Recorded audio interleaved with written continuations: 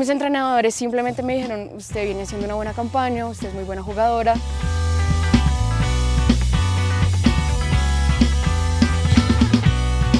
En Estados Unidos es, muy, es básicamente estadísticas, cuántos minutos jugaste, cuántos goles, cuántos pases buenos hiciste, cuántos cerraste, asistencias. Ellos miran absolutamente todo y es básicamente números. Cada equipo tiene como unos cupos para escoger a jugadoras.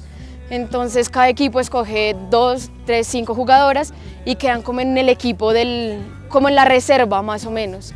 Cuando ya uno va allá, uno empieza a entrenar con el equipo como una pretemporada y ya uno, ellos deciden si firman contrato o no firman contrato.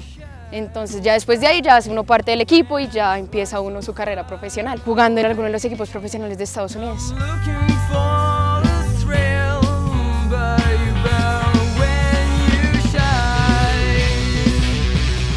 Con mi familia y con mis amigos he intentado no tocar el tema porque realmente me estresa mucho y más que es como esperar a que ellos digan. Entonces ahorita estoy concentrada en Selección Colombia, intento no pensar en eso y que pase lo que Dios quiera que tenga que pasar.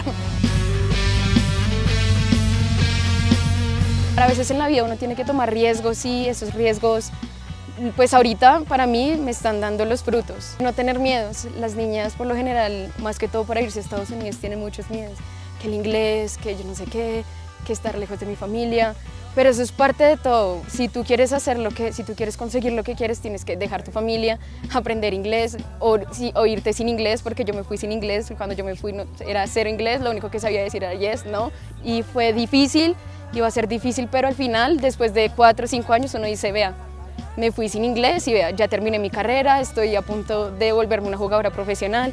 Selección Colombia, gracias a Dios, se me presentó, entonces es también esperar, darle tiempo al tiempo. Es, es, un orgullo, como siempre, pues representar el país, no solo el nombre de uno, sino que diga Colombia, es lo más, pues para mí es una de las cosas más importantes. Desde hace cuatro años que estuve en, en Londres, no hay día que uno oro, oro, oro, oro, yo quiero oro, yo quiero oro, meternos en el podio, seguir representando bien a Colombia, seguir haciendo historia, causando sensación, porque eso es lo que Colombia ha hecho últimamente. Eso, y si puedo y si sigo con ganas dentro de cuatro años volver a, a jugar otros olímpicos y mundial y estar en todo el proceso.